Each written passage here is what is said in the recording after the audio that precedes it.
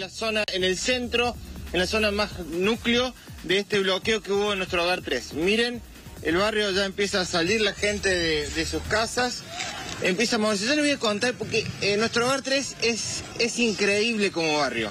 Eh, tiene un montón de cuestiones que lo hacen distinto y, le, pedí a ella que deje las bolsas un segundo porque, vení, acompáñame. No, eh, ¿Venís de dónde, de dónde, dónde fuiste a hacer las compras? Eh, al centro, Mercado Norte. ¿Con las tres bolsas estas te venís del Mercado Norte? Sí. Colectivo, obviamente. En colectivo, sí, así es. ¿El colectivo te deja tres, cuatro cuadras, verdad? Eh, sí, en la primera, digo, en la avenida principal. ¿Por qué vas al Mercado Norte? Eh, porque tengo el tarjeta alimentaria, que acá casi no reciben, y otras cosas, de paso traigo carne, eh, todo lo que me hace falta, claro, también para ver todo cuestión de, precio. Bueno, ¿cómo fue pasar estos días de, encierro? Eh, después todo bien, pero un poco aburrido. Em, siempre obedeciendo todo lo que nos iba diciendo. Eh, un poco asustado, sí.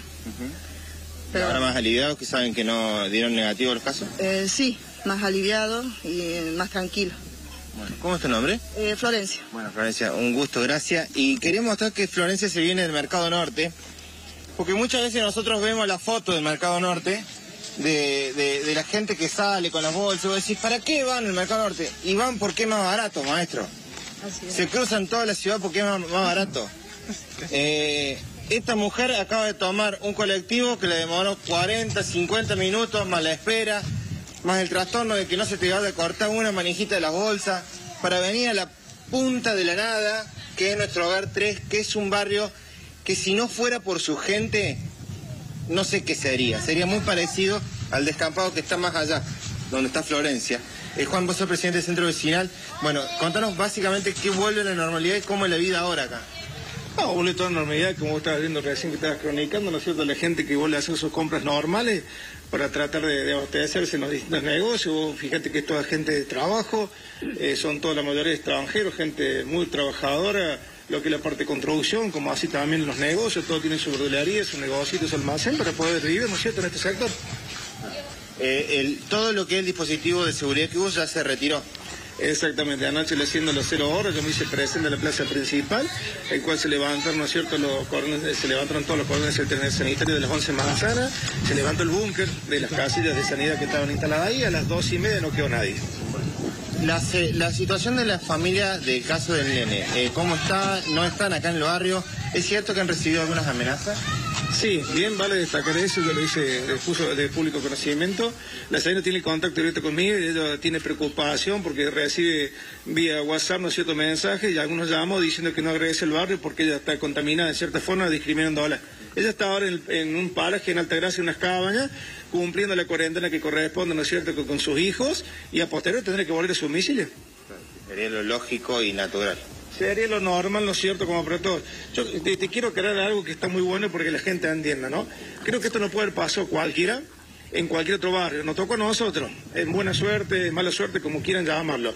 Pero no, no tienen por qué discriminar a la gente de acá, de este barrio, de este sector, ¿no?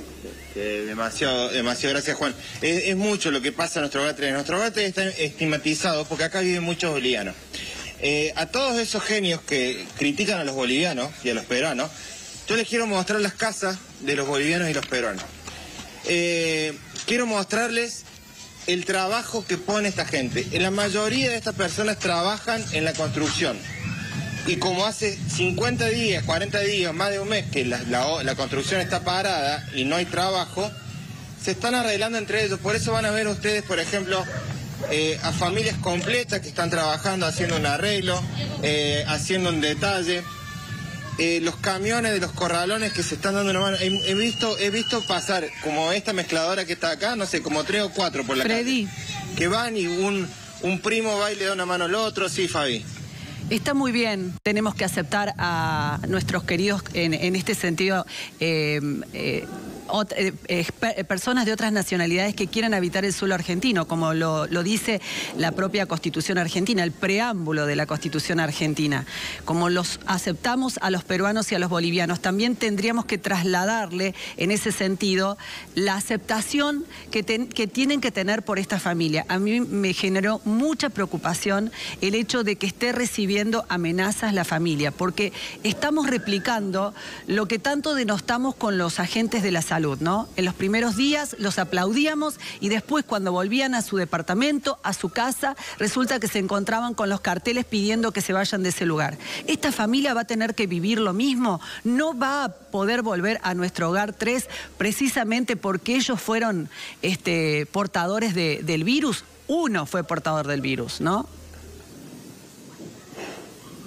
Eh, acá los que se han tomado todas las medidas de seguridad para que eso no pase, o sea, para que no, no exista una amenaza. Por ejemplo, hubo una, nosotros hemos visto uno de los mensajes que directamente le dicen, boliviana DM, no vuelvas al barrio porque te vamos a quemar la casa. Es una locura. Eh, y, también hay que ver si esas, esas expresiones surgen de acá del mismo barrio, si vienen de afuera. Hay mucho miedo, mucha paranoia.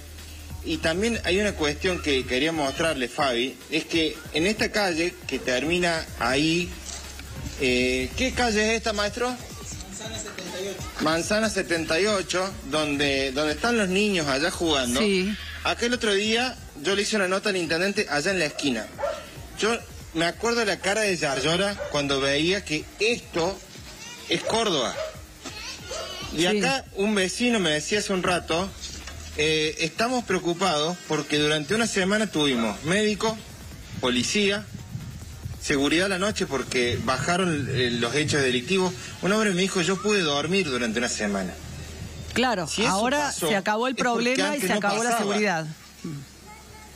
Pero claro, a eso, estas son las, curiosidades, disculpen si me acomodo, las curiosidades de esta situación tan rara donde por un caso se aislaron nueve cuadras, está bien, en, eh, eh, todo el COE está conforme con la medida que se tomó, afortunadamente los casos después dieron negativo y solamente fue un niño de tres años, que ya está bien, eh, pero el tema es que acá la gente sintió durante una semana que el Estado vino porque tenían coronavirus. Claro, alguien los veía, alguien los veía. Esa es la pregunta que, que, me deja a mí este, esta situación, este paisaje, donde bueno, hoy por suerte la gente ha vuelto a trabajar eh, en sus cositas, en las cosas que está haciendo, los arreglos en las casas, etcétera.